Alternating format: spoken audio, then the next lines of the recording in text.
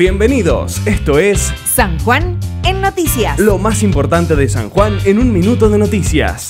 Cuidado, ambiente sano. Habilitaron la nueva cartelería en el Parque Natural Valle Fértil. Se trata de 14 carteles elaborados por el Cuerpo de Agentes de Conservación del Área Protegida. Final feliz. La cirugía para extraer un tumor a un niño terminó generando un amplio trabajo multidisciplinario en el Hospital Rawson. El resultado fue un éxito rotundo y motivador para el personal. A salvo. Protección Civil capacitó al personal de OCE. Empleados de diferentes áreas de la entidad aprendieron sobre RCP, manejo de extintores y protocolos en situación de sismos. Proyecto Millonario. Benjamín Paredes Mariño es un niño soñador de 12 años que integra el grupo de líderes barriales del departamento 25 de Mayo. Ahora quedó preseleccionado para jugar en River.